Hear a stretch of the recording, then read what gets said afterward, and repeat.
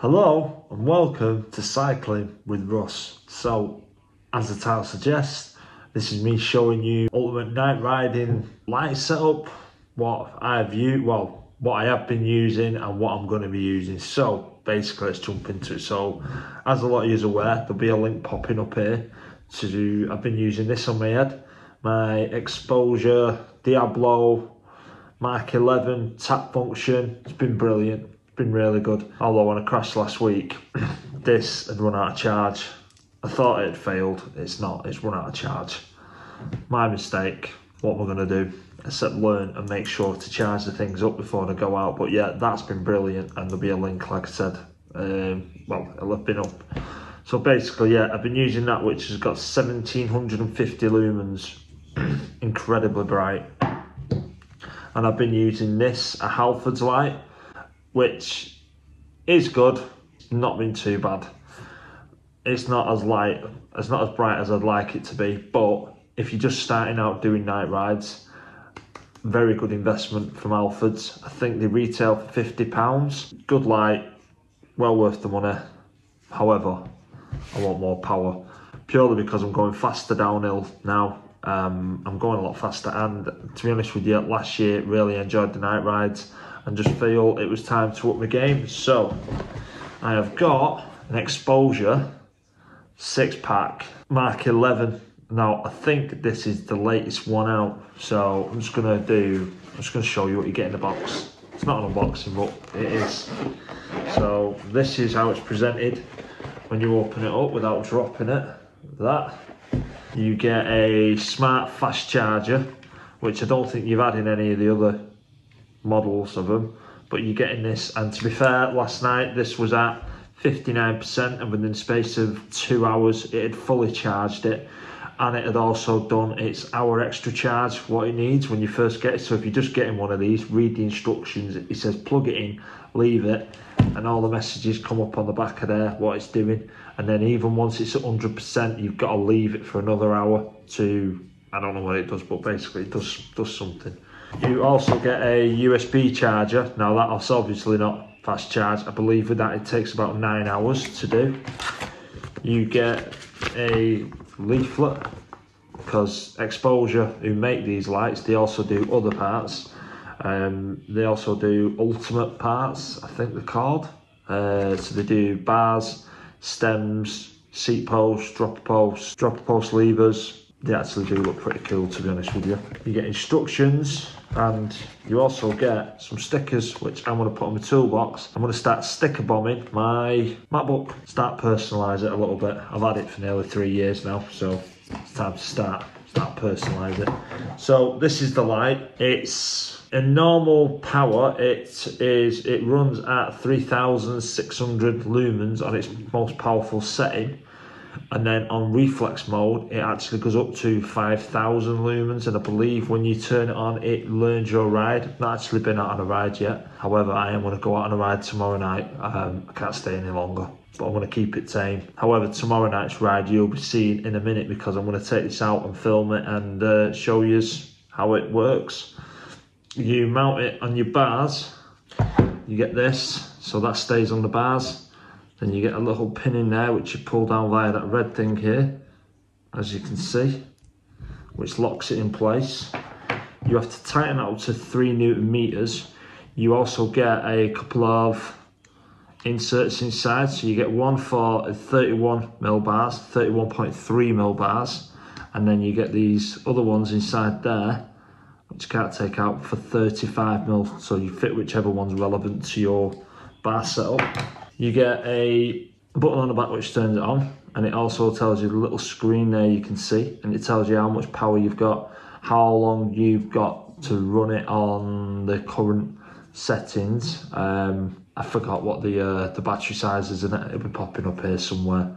But uh, yeah, so what I'm going to do is I'm going to fit this into my bars. I'm not going to show you doing that because basically you just tighten it up to 3 newton meters, done, leave it on and you'll see it fitted on the bars tomorrow night and yeah well in a minute you'll see it and you'll see how powerful it is I'll just show you it turning on I'll probably blind myself now so that's one there and then I don't know if you can see It's not really picking up, but it tells you your charge, what it's currently on. And then uh, you can see it's turned on behind me. And that's that's that's blinding me and it's wow.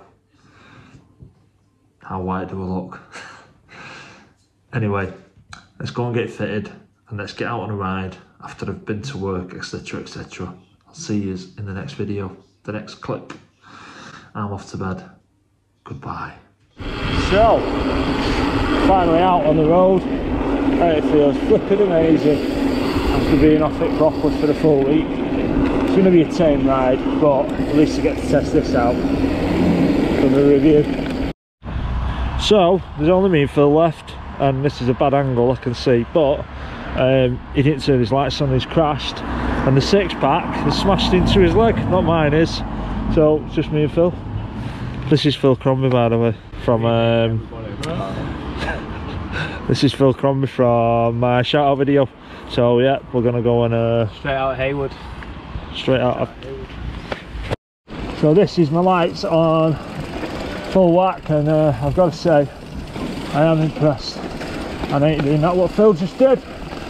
It's obviously my shoulder, and I can use that for all the excuses all night now. My shoulder. But yeah the initial reaction to these lights is just incredible. Yeah they are a lot of money but we do this all year round and if it keeps you safe on the trails for me they're worth the money and to be fair it's a premium product and it'll last years. And uh, as Phil was telling me before the customer service from Exposure is brilliant and I've contacted him about my head torch. However I do feel it's user error not product failure. So I'm just out testing it tonight and see how I get on. If it goes off on me again then I'll send it back to them.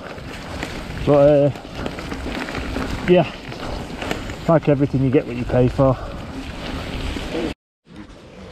so I don't know what you can see but this is a light and it's just dimmed itself. I've just shake the bars and this all like basically the light thinks it's moving fast and it goes into the reflex mode. And see how it's gone up there to full whack? That's just my one light. It's incredible. And then if I turn don't go down I turn my headlight on. So that's my full power of light and yeah it's it is daylight it's incredible. Let's go.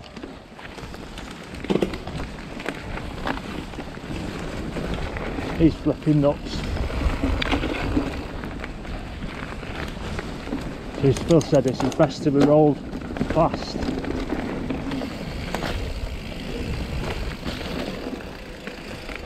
I've lost him up this way.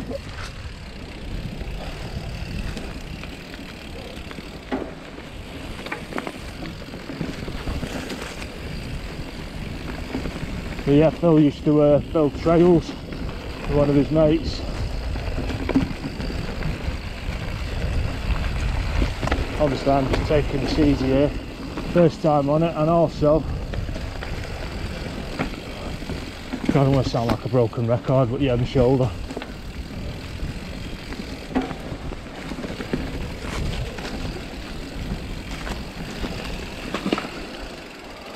Yeah, I'm gonna walk through that.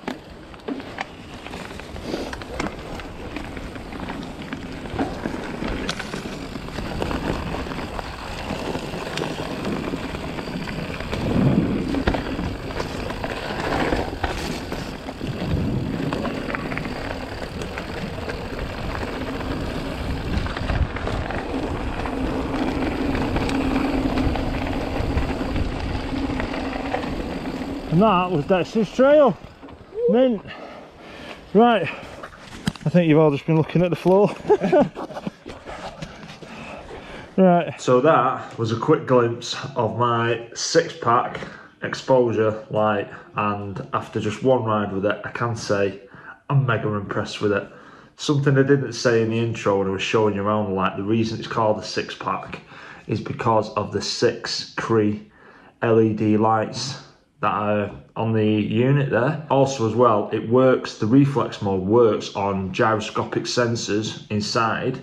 And then also, I don't know whether you can see, but these holes here that are around it, they actually pick up the wind to detect when you are actually going fast. Now, it did dim down when I was going uphill, when obviously it's like that position, it dimmed down enough for me to see where I was going and then obviously when it's like that and it's going downhill then it just went bang straight into the the full beam. I was riding last night for around three hours and when i come home i had 25% left on the battery so it done really well. And i suspect as well the more charge it gets the better the battery's going to be the better the better the battery's going to be. There's loads of different settings on there and i'm going to test them out see how they are because you've got reflex 3 reflex 2 reflex there's there's loads of different settings on there. It's got sos mode. Yeah it's it's a proper good high quality piece of kit. Expensive. If like me you've rolled over winter in the dark nights before and you've been considering one of these don't don't hesitate. Just buy it. I promise you you will be impressed. Really really impressed. Um, they do have a few they have uh, a few other different attachments with it um, I've still not fully worked my way around it, but over time I will do. There's an external battery you can get and a few other different things, but for now, that is more than enough. So my next video with that, which hopefully is going to be in not next week because on my ride my ribs are twinging etc was in pain so i'm not going to be going up Crompton Moor until they're right my next ride is going to be at Crompton Moor with that and I'm going to go and do the section where I crashed on the other week and I'll show you where I crashed. Um, in the meantime, I have got, my next video is going to be new bike day. It's not a mountain bike, um, but yeah, it's new bike day. Uh, that's going to be my next video. So if you want to see it, stick around, press that subscribe button. If you're new to the channel and you want to see how this is on further rides that I'm going to be doing, I will be riding all over winter. So this is going to get lots of use and I'm going to be taking it different places, different trails. Then again, press that subscribe button and stick around for the, the videos. Anyway, thanks for watching. I'll see you in the next one. Take care, have a good one and stay safe. Bye.